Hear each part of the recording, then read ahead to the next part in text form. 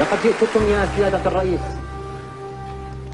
بغصن الزيتون في يدي وببندقية الثائر في يدي.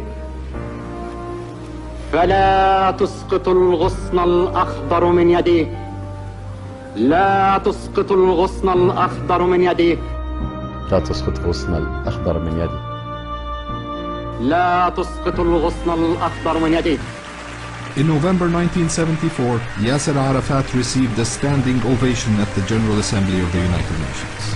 He had spoken of a peaceful solution to Palestinian demands for a homeland. For the guerrilla leader, standing among statesmen, it was a crowning achievement.